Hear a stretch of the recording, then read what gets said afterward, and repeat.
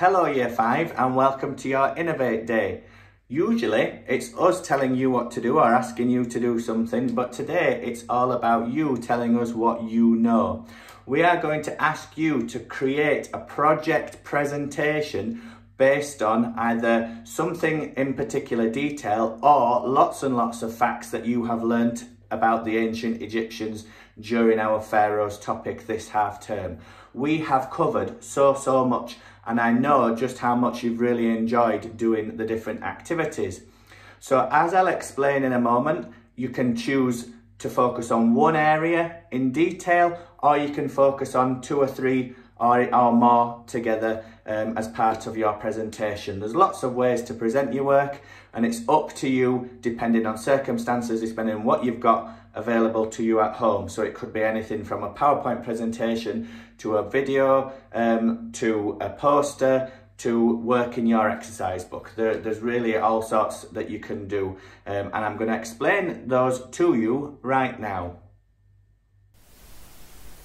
So here is all the information that you need to help you get on with your project today. So, your task is to present information you've learned throughout this half term in an interesting and creative way. The choice is yours about how you present it. It's entirely up to you what you include in your project. Um, you could make a model if you've got the resources. You could make a poster.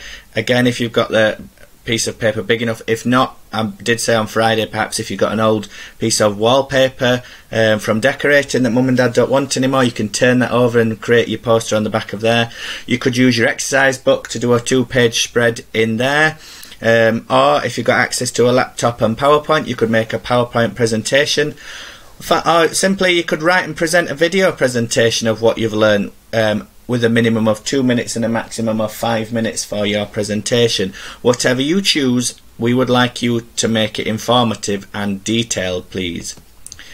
So here are some possible topics. We've got religion, uh, where you might include names and pictures of gods and goddesses, what they were in charge of, um, famous temples and statues, maybe pictures, illustrations. Doesn't have to be a printout. You could draw these yourself with descriptions as well uh, and labels.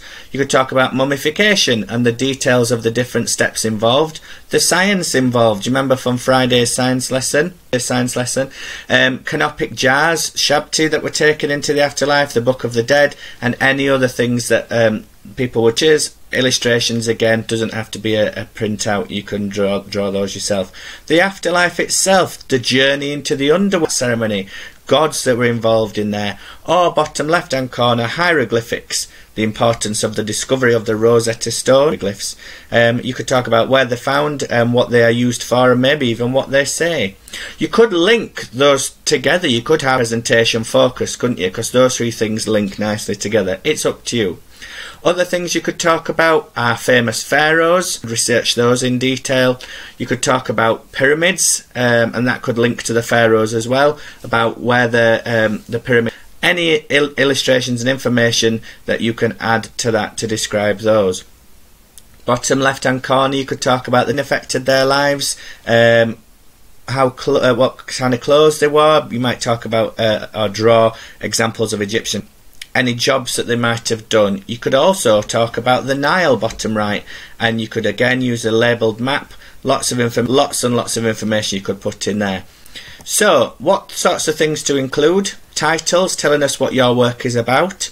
Subheadings for each paragraph Detailed information, make it detailed and interesting. Pictures doesn't have to be printouts, it can be things that you've done yourself with labels potentially. What we expect and what we'd like to see is a well thought out, neat presentation. We want to see some effort, your creativity and detail in your work. You can use any work you've done over the half term, few that's already in your um, exercise book, and there are lots and lots of websites to help which you will get posted on your class story too. Here are some examples of things that you could do.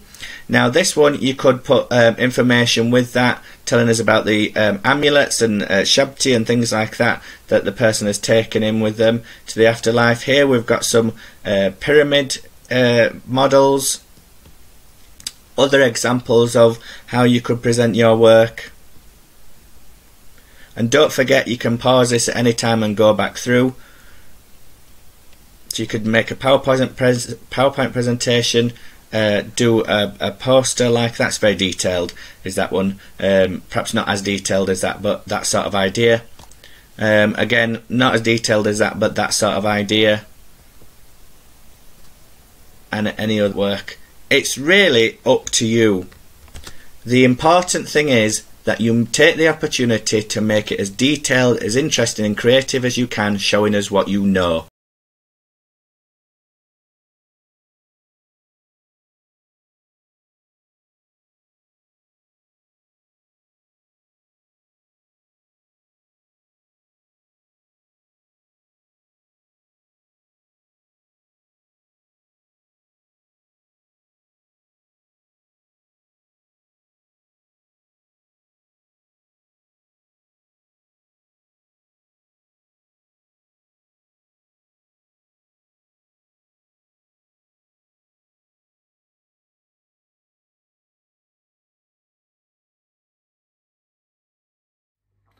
So there you have it, folks.